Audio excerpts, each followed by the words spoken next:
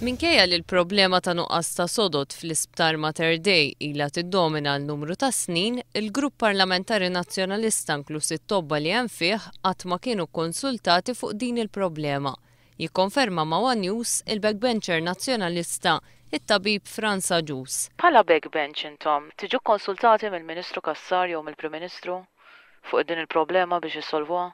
Nifhem li fuq punti ta' dettall, jiena din ara ħafna aktar f'każ ta' management, qed tifhem? Jiġifieri fuq di speċifikament tan-nuqqas ta' sodod ma ġejtux ikkonsultati? Ma niftakarx li għamilna xi diskussjoni partikolari fuq x'għandu jsir u m'għandux isir.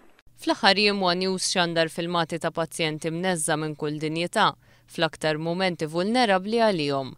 fuq stretchers fil-kurituri tal-isptar, b'uħud minnhom f'kundizzjoni serja ħafna.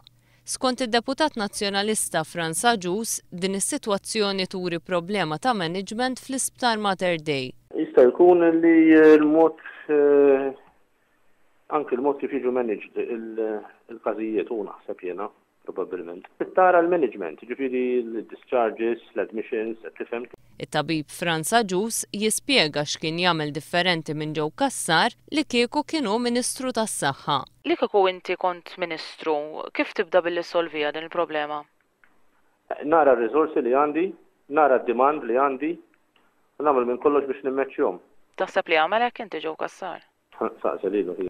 One News staqsa wkoll lill-backbencher Nazzjonalista Frans Agius dwar id-dikjarazzjoni tal-eks Kap tal-Onkoloġija Stephen Brincat li kien hemm indħil politiku fuq liema pazjenti għandhom jiddaħħlu għall-kura tal-kanċer.